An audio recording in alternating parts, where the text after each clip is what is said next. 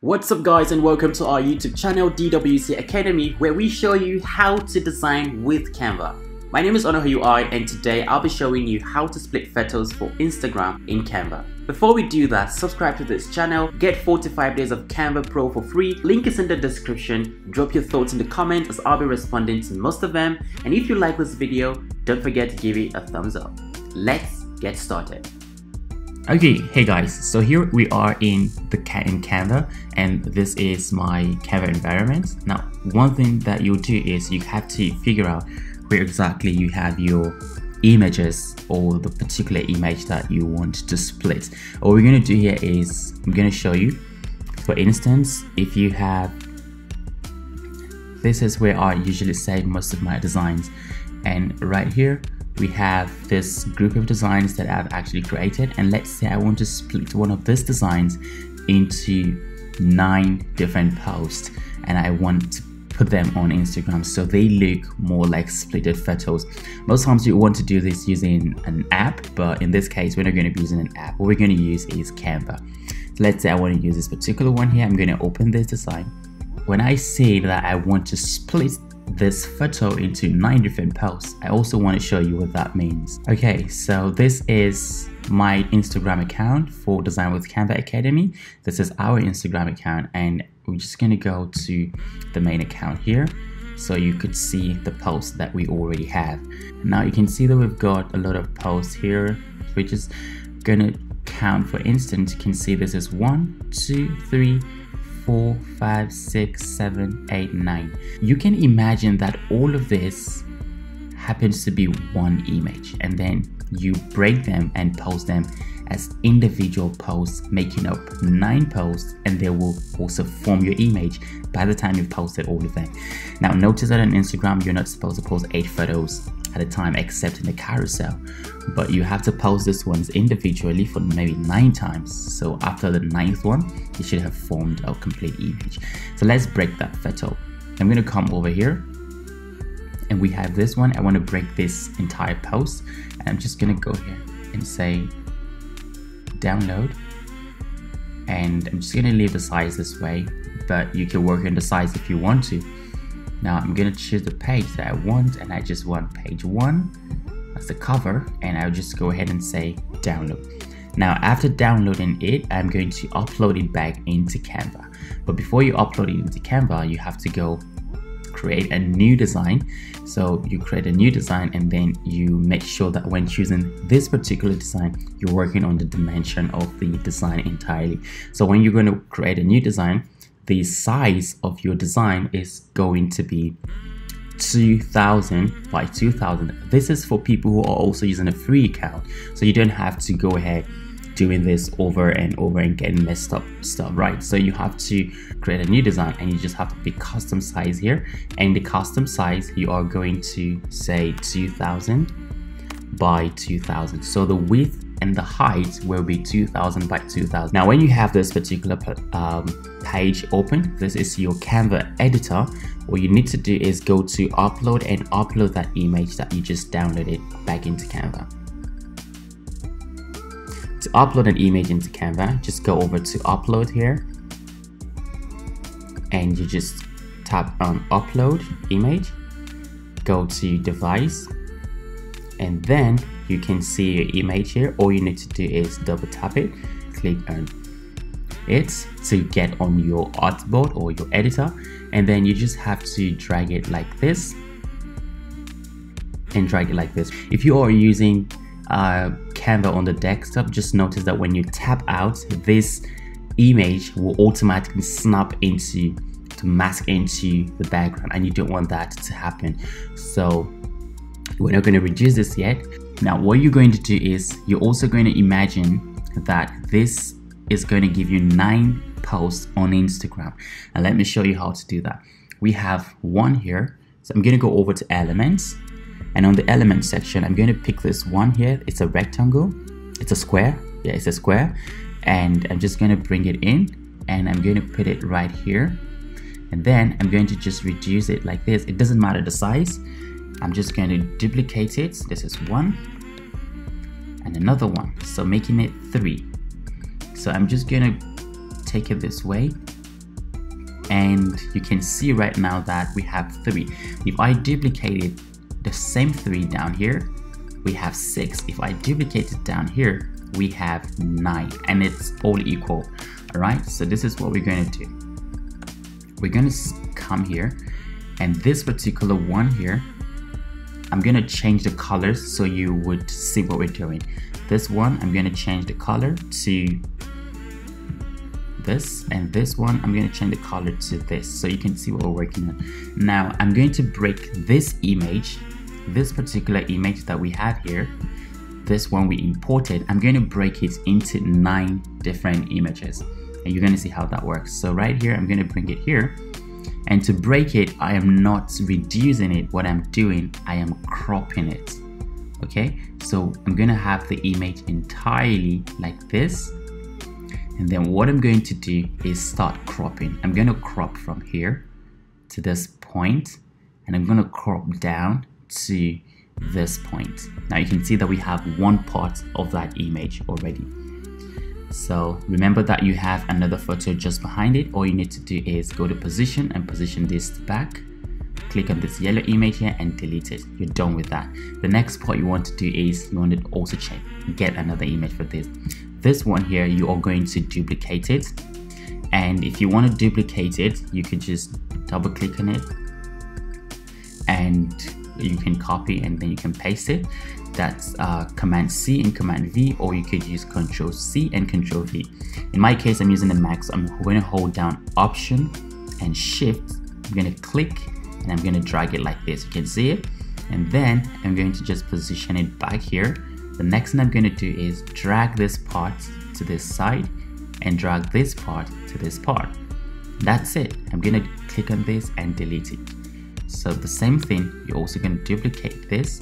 You're going to drag it here. And you're also going to reduce it like this. So when you go ahead to delete this you can see that you formed this three parts right here. The next thing you want to do is you're also going to click on it and put it here. Do not drag it. Bring this one down here to this is going to be like a guide to show you what exactly you're going to do. It's the same thing as bringing this rectangle right here and putting it here and reducing it like this dragging it down. It's the same thing. So in this case I'm going to use this one option put it here then I'm going to drag it like this to extend it and also reduce it here. All you want to do is you want to make sure that you've got perfect squares for each and every one of this so then that's exactly what I'm showing you how to do. The next one is this one. Also holding down my shift and option button. You can use your alternate and shift if you are using a Windows. Alternate and shift if you're using a Windows click and drag. You're gonna get the same effect. So I'm also gonna reduce this. You can see that we have this accurately set here. The next thing again is just to get it again and drag it here and also drag it here. So you can see it we've got six right now. We are left with three. To do that we're also going to copy this and just drag it. Remember to not this is not what you're supposed to do. Don't bring it down. Nope you're not supposed to do that. Leave it where it is and drag it down. Okay drag it down and get this too and drag it down. That's it. Copy the sample again and drag it like this here and drag this here. The last part is going to be this one. It's on the top of this. I'm going to drag it here and then I'm also going to drag it right here. So that's it. You can see that we have this image divided into nine different pairs. The last part is we have nine pairs here. So we're going to create an extra eight pages right now. So to do that you're going to just say add a page. Remember that this is not going to be the first one. The first post starts from here. So I need to show you guys how that is. So that is how you will save them. One. This is one. This is going to be the first post this is going to be the second one. It's going to be the second one.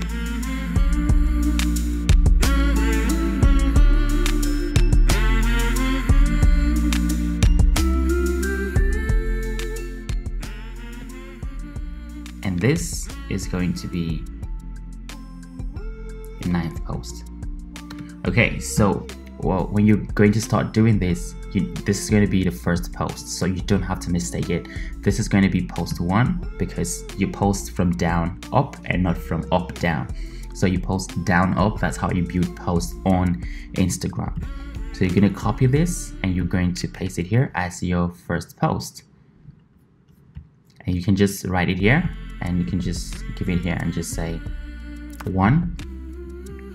You also do the same thing for two you post you paste it here and just drag it. Is two and then three. So you're just gonna copy them and use them to build a complete post page here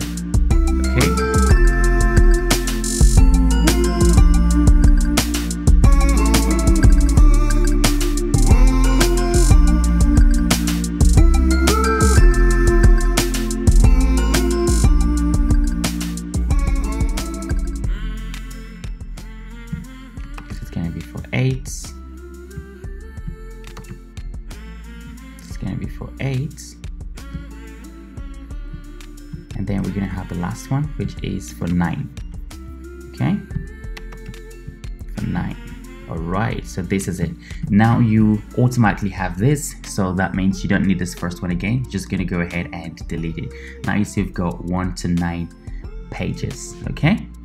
So this is one already and then two three four five six seven eight and nine. Now if you don't have a pro account, what I recommend that you do is before you start designing, make sure before you start designing the original post that you want to split, make sure you design in a larger dimension. Make sure you're choosing 3 500 or 2000. All right, make sure it's 2000 by 2000 or 3 500 by 3500 make sure this is the dimension you are choosing so that when you download your image it's going to be in high quality. If you're not going to be doing this you won't be able to change or resize if you don't have a pro account. But if you want to have that feature where you can resize and you want to test it first there is a link in the description that gives you access to Canva Pro free for 45 days. You can go ahead and try that and you're also going to have this resize here. What I mean by the resize is when you come into your design here and you want to resize this from a smaller dimension to more higher dimension, which means resolution in Canva, what you need to do is go to resize and you can see this is 1080 by 1080. I can just change it to 3 500 by 3500 and I'm just going to say resize. Now automatically it has resized this, the quality is better. And if I download this it's going to be good. So make sure you do this for the photo that you first want to split. And then you can go ahead and download it. Remember another way that you can download is when you go to download you can also increase the size from here. Okay? That's also what you can do. You can also increase the size from here. So that is exactly what you do. And after downloading that remember and you've started splitting and splitted it it's going to be very very clear right here and not so blurry as you can see now. Remember that I changed this from 1080 to 3300 and if I go ahead to download it it's going to be much more better than what you are seeing here. So let's go ahead and just download this as a zip file. I'm gonna call it I'm gonna call it split post Okay, so what I'm going to do next is go over to download and I'm going to select all of the nine pages because that's what we have already and we have them here. So I'm just going to say 1 to 9 and I'm going to go ahead and just say download remember that you can increase this size here if you want to but it's okay. We've got a good size uh, for better resolution if we're going to be using this. But this is for demonstration sake so we don't have to do that. And I'm just gonna go ahead and just say download all of the nine pages. And we just give it a few seconds. It should be ready. So we've got the download coming up and it's it's done I'm just going to click on it to unzip so you can see what it looks like already. You can see the post entirely so when you go back here and bring that post back into uh, Canva here this particular post here you can see you, you'd know which one is the last and which one is the first. So if we go to our split post here and try to view it like this all right. So you can see that this is going to be the first post that we're going to make and then this and then this then this like this. So we're not going to start from here down we're going to start from down up. So if we check what we've downloaded now it means that we're going to start from 9 to 1 and not from 1 to 9 so this is going to be how we're going to start 9 8 7 6 5 4 3 2 and 1 so when you go ahead to post this you are going to get your main post that looks exactly like you've splitted it using one of those apps that splits this. But the difference here is you have the ability and the control to make your post to even look sharper and not blurry. You can still control the size of your design, but on those apps, you can control the quality of the designs. And the mistake a lot of people make is when they go ahead to create that design, they created using a low dimension and not working on the dimension first in Canva before downloading and even uploading it and even splitting it. This might look a little bit uh, uh, lengthy for someone who just want to use the app, but this is a short way to get your photos top notch when you post them on Instagram so they look cleaner and sharper and not blurry. If you want to try to use this and you don't have a pro account, don't forget there is a link in the description that's going to give you access to using Canva Pro free for 45 days. So just go right there and use that link. And if you haven't subscribed to this YouTube channel, don't forget to do that. At any point in this video, if you do like it, give it a thumbs up. Drop your thoughts in the comment. I will be responding to as many as possible and I'll see you guys in the next video. Don't forget, 7 days without Canva makes one week. And until then, I dab.